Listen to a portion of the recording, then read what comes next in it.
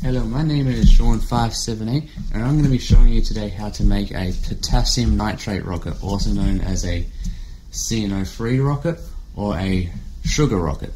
Now we're just going to be making out of basic homemade things like a toilet roll, an egg carton cup, as you can see I've already made quite a fair few. Tried to burn down the backyard but I haven't achieved that yet. Aluminium foil, sticky tape, obviously just your regular sugar, and bag of hopefully potassium nitrate, not some sort of drug. Alright, well, let's get down to this. First thing, you're going to grab a pair of scissors. Just going to cut your toilet roll down through the center. It's all like that. Simple. Grab your egg carton shell and just cut out one of these little egg holders. Get rid of that. And sort of just carve it out so you don't have these little grooves and stuff.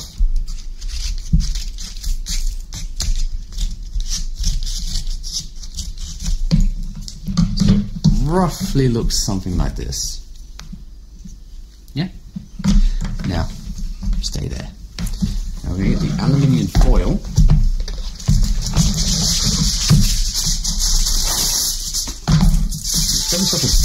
sheet here because what we're going to do is you're actually going to wrap this aluminium foil on the inside and outside of this which is going to provide insulation. So essentially because there's going to be a lot of heat this will not melt or burn.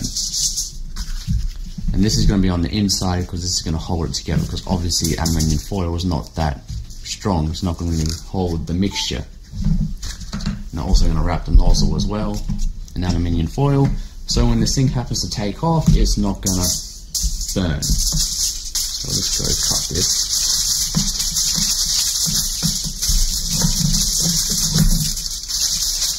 I recommend just cutting nice long sheet just so you can get this all in one go. And what you need to do is shove this in the center here.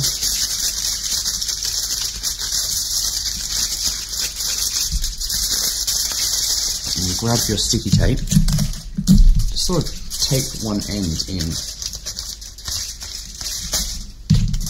Then you just go around, tape probably about three times I reckon, just to hold it in place. Okay. So sort of like that. And then you just do the same with the other side. obviously it's a bit long, just bend it over.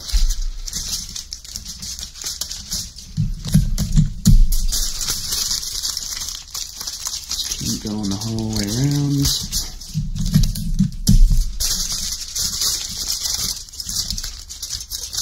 Voila.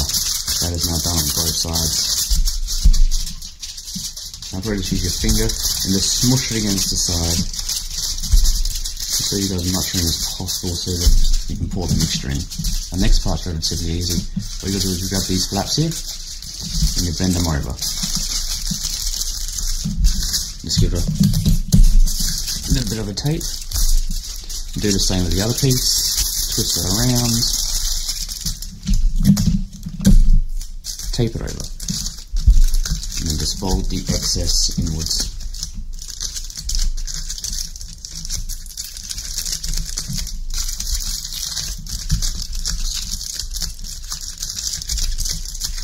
Now that should provide enough protection so the cardboard doesn't burn, but also enough stability so you can pour your mix in without it oh, going everywhere.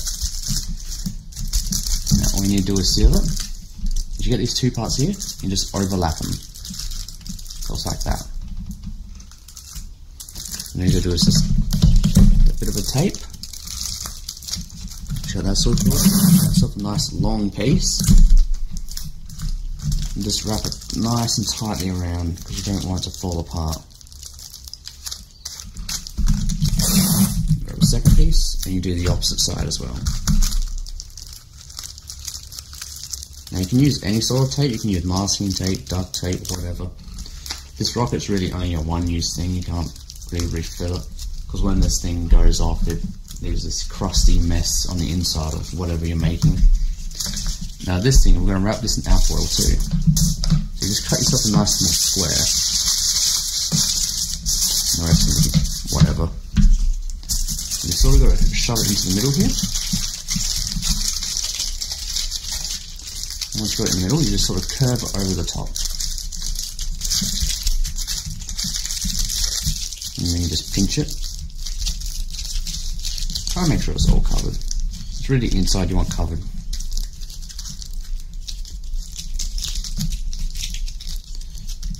That's simple. That's the head of your rocket, or the nose, whatever you will call it.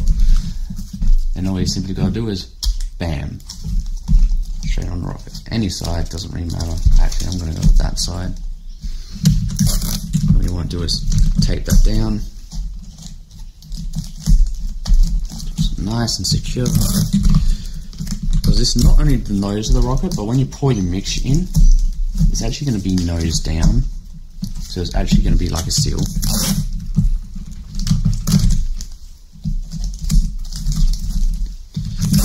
Once you've got it secure, I recommend just wrapping one piece of tape around the outside to make sure nothing's going to come out of there.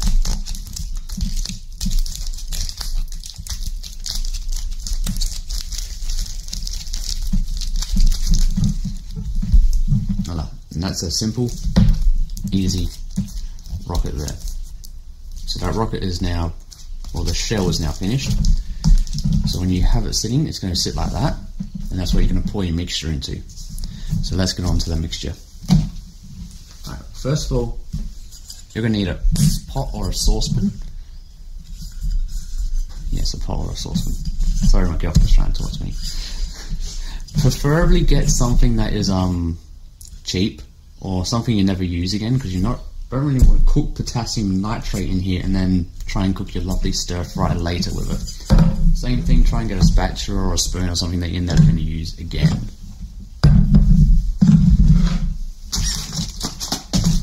And also grab yourself a pair of digital scales, or scales, whatever you got. Turn it on, so it zeroes off. Tare it Ryan, you want to quickly turn around and grab me a spoon? Oh. As a draw? I forgot to grab a spoon. There you go. Uh, big spoon. Any spoon. You want a big spoon? Thank you. Just grab a spoon you're not going to use again. Now, the ratio for this is um, I'm going to make a 100 gram mixture. It's actually um, 60-40 mix. So you put in 40 grams sugar, 60 grams potassium nitrate. So if you were to do like a one kilo, is obviously 600 grams of this, 400 grams of that, and so on and so forth.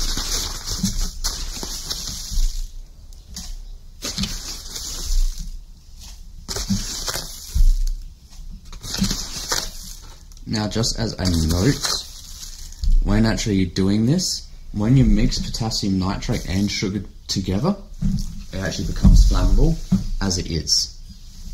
Potassium nitrate by himself is not flammable, or not to my knowledge.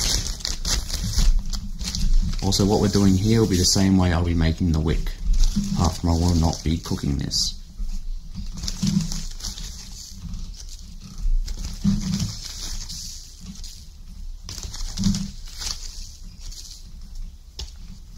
Alright, that's actually 100 grams on the dot now.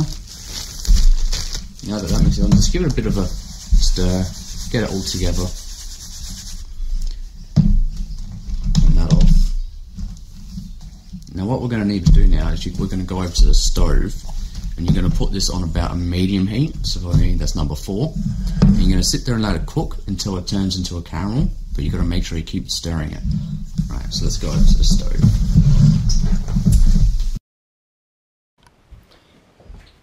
Now what I'm about to start doing here is start cooking it. I've got my stove here on a medium heat. So what you want to do is pour that in evenly roughly. And sort of give it a bit of a stir. Now what you want to do is you keep stirring it and eventually it'll start getting clumpy. And it'll start slowly turning into a caramel, but we don't want to stop until it becomes like a runny goop. So actually I'll fast forward it until it comes to this point. Oh,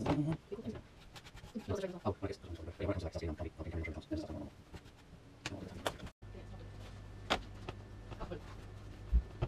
I mean, I can go. Yeah, let me check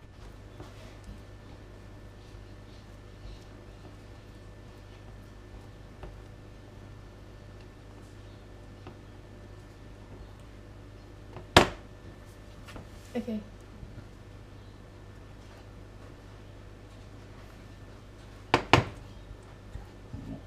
Alright, pick it up and then pour it now. To fill me pouring it into the hole, obviously.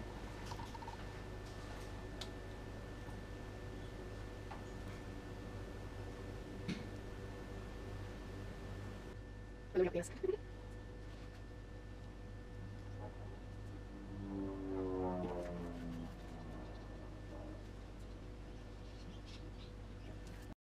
Once you have done that and your rocket has cooled, I want you to move on to this next step which I'm about to show you right now.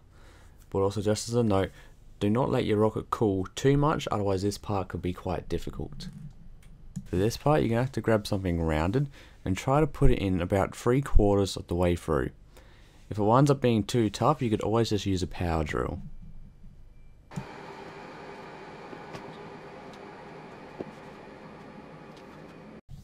For me, I accidentally did let it cool too much and I actually went ahead and did use a power drill so I cheated. For this part you could attach it to a stick if you want it to go up in the air. All you gotta do is get a reasonably straight stick, attach it to the rocket with just a bit of tape, place it inside a PVC pipe or any sort of pipe, insert your wick, light and hopefully it should go or you could do what I'm going to do and attach to a skateboard because I really do not want it to go over the fence. Also, just as a side note, potassium nitrate and sugar together, not cooked, is still highly flammable as you can see in both these videos here, one showing the cooked and one showing the uncooked. Now for this part I'm going to show you how to make your wick. All you gotta do is you grab some newspaper, roll it up into a rough tube, try and put it down the hole that you just recently drilled or managed to stick a pole into. Once you have done that, I want you to grab some potassium nitrate and sugar. Just mix a little bit up together. I'm just going to use my hand for this part. Probably don't use your hand. And then you just got to try and pour it down the tube. And this will pretty much be your fuse ready to go.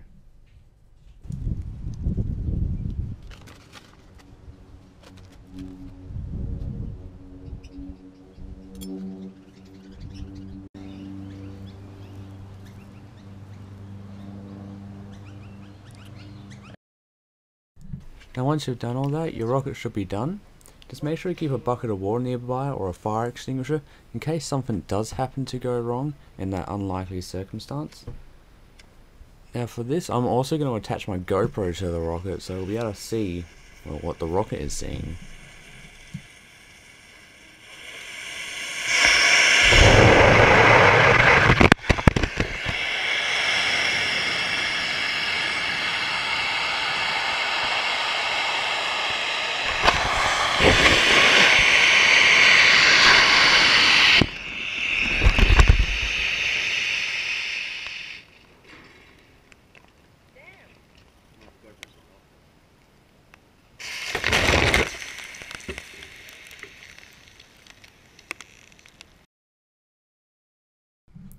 Thanks for watching, don't forget to like and subscribe, and if you are to do this yourself, do exercise some caution, unlike myself. And any kids out there are deciding they want to do this, do please make sure you got your parents with you when you do this. Thank you.